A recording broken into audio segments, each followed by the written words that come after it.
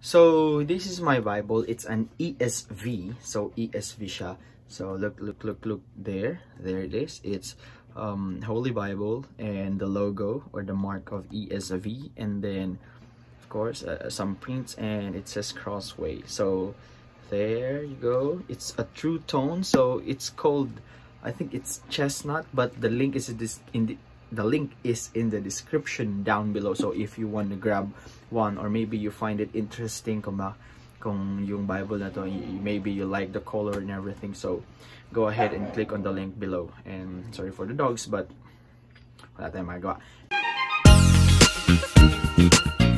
Anyway, so let's go ahead or let's go straight to the Bible. So when you open this Bible, so this is called the ESV thin, thin line line. This is called the ESB thin line. So it's ESB thin line. So uh, well, it should be white pero uh, ginawa ko siya, uh, you know, kinoloran ko siya just to make things a bit, you know, interesting. Okay?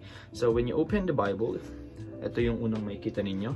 So it's another page. Okay? It's another page for the thing. I don't know what's this, but the purpose of this, but it, it's good. Okay?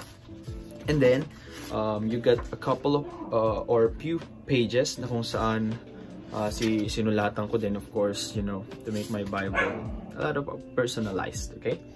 And then uh, meron dito a few more blank pages pero sinulatan ko na din siya. So I wrote there 2 Timothy 2.15 do your best to present to God as one approved a worker who has no need to be ashamed rightly handling the word of truth. Okay? Just you know para ma-encourage din tayo magbasa when you look at your Bible, di ba? So, I don't want it to be plain or dull or anything. So, I want to personalize it. I want, I want to make it mine. Okay? So, and then I have here the five solas or the five foundation of Reformation.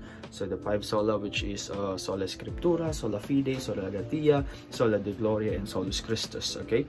So, basically the five things. We will talk about that here in my channel. Okay? And I've got here also So, kasi, syempre, mahilig din ako mag-mark ng Bible. So, I've got legends. So, yung legends. So, if, if uh, I'm gonna do information or so it's giving me information. So, definitely, um, I'm gonna put it on orange. And then, personal prom uh, personal promises and etc. Like, for example, uh, one of my, uh, my favorite verses. Well, bakit blue? Kasi, yung blue, favorite color ko rin siya. So, of course, uh, we got promises and personal things na you know God um, God's uh, God's word uh, had spoken to me. I go ahead and mark it with blue okay? And also the doctrines or importance. So uh, katulad ng why is Jesus God? Or um, the importance of the cross diba? so everything that is uh, important or when it comes to doctrines I find important or doctrines also. So I highlight it with the color green. Okay? So, as you can see, pagbukas mo rin dito, it goes with it goes with the Holy Bible. Yun, so natakpan na ako yun. So, it goes with the Holy Bible. So, presented to, buy, on. So, if you wanna gift, uh, i-gift mo siya, then definitely, uh, it's good also, pwede mo siyang sulatan. And, of course, yung pinaka-cover. So, the Holy Bible. Okay.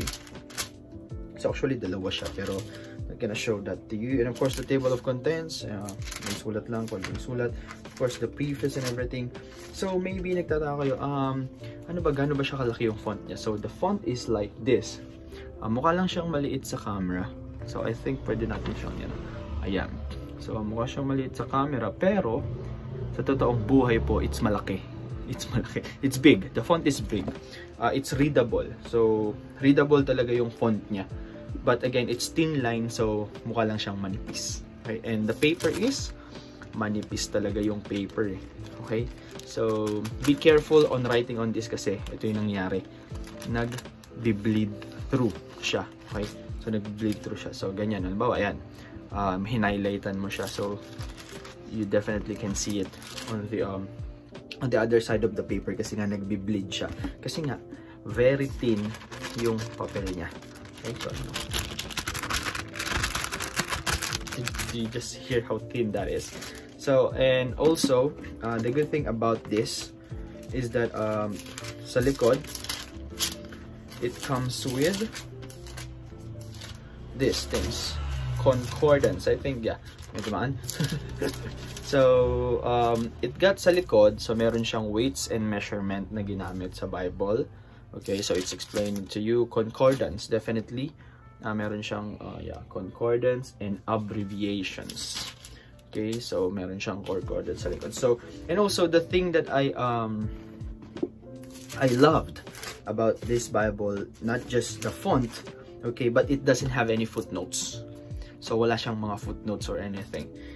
Okay? So, wala siyang footnotes. It's just the, the, the, the Word of God itself. So, very helpful siya kung gusto mo ng deep study sa Word of God. Kasi, uh, like, for example, sa mga nag-exegesis dyan, di ba?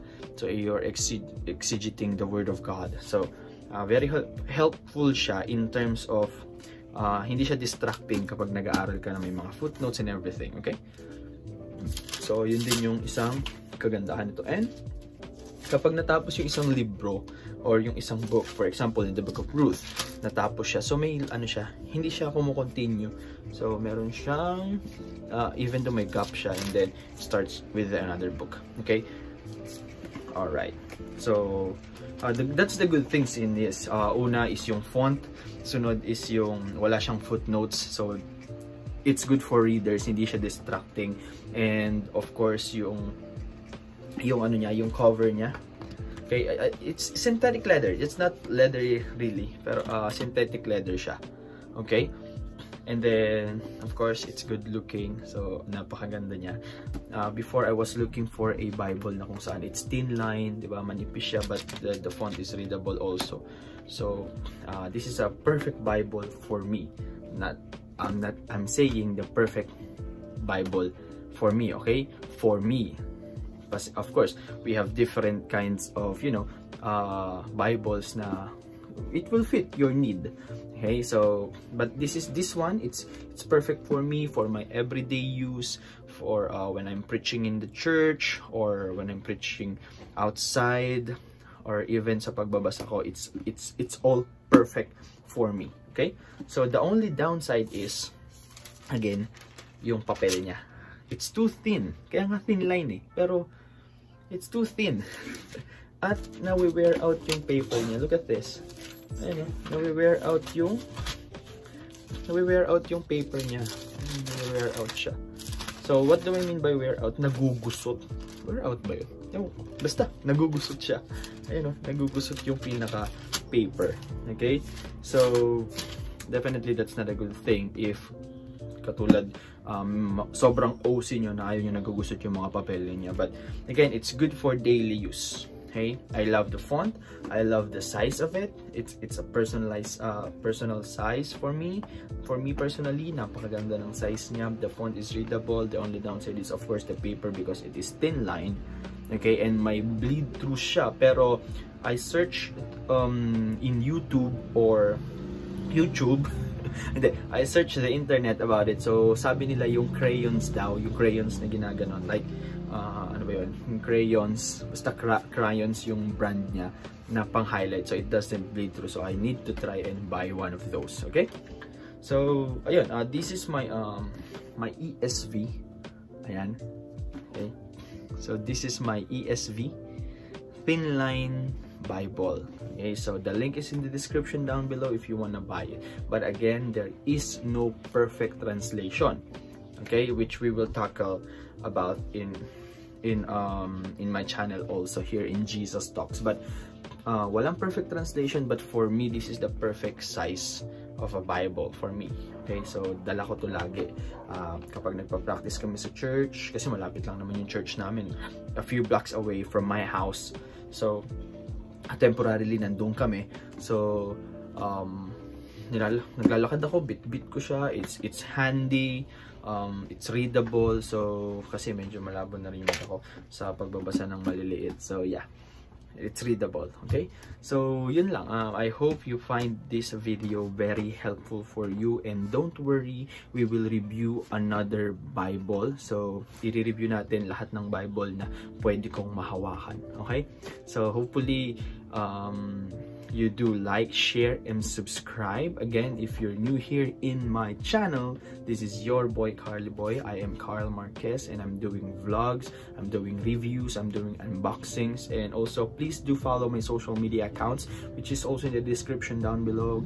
Below, my, uh, kung gusto nyo ng mga if you want to interact with me, definitely uh, you can do so by messaging me on my Facebook and also on my Instagram or maybe here also in YouTube. So I want to see you guys in the comment section down below. So and you share us, uh, share us, or share with me. Share with me what is your favorite uh, Bibles. So for me, this one is good enough for me to be able to deepen my knowledge into the Word of God. So again, yung, yung ESB, pahabo lang, this is a word for word. It is not a paraphrase or a thought for thought. Okay? So, thank you so much guys for watching. This is your boy, Carly Boy. And again, do everything for the glory of God and not for men. This is your Carly Boy leaving you with a quote and a message that God exists, whether you like it or not. God bless you, and I'll see you in the next video.